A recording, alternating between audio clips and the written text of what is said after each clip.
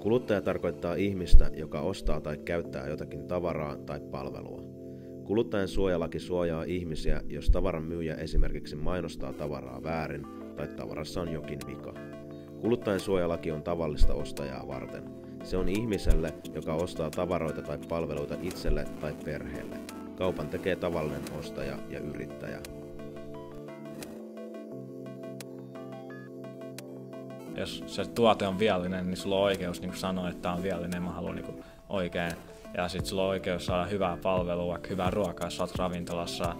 Ja sitten jos tykkäsit tai jotenkin siinä on jotain väärin, mitä sä tilasit, siis jotain muuta, niin sulla on oikeus antaa kritiikkiä. Ja sulla, niin sulla on oikeus saada, mitä sä tilasit.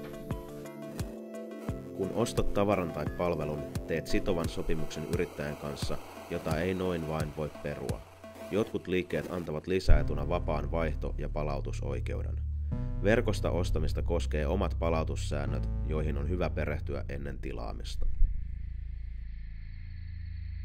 Sinun vastuullasi on miettiä omat käyttötarpeesi ja rahatilanteesi. Ostajan on velvollisuus ottaa selvää myyjästä, tuotteesta ja maksamisesta.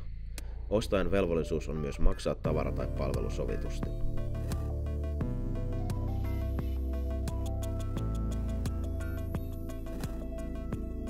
Sun velvollisuus, jotta saat se tuotteesta ja maksaa siitä tuotteesta palvelusta ja hoitaa. Jos sä oot sopinut vaikka osamaksu, niin se pitää hoitaa ja sellainen peruskohteliaisuus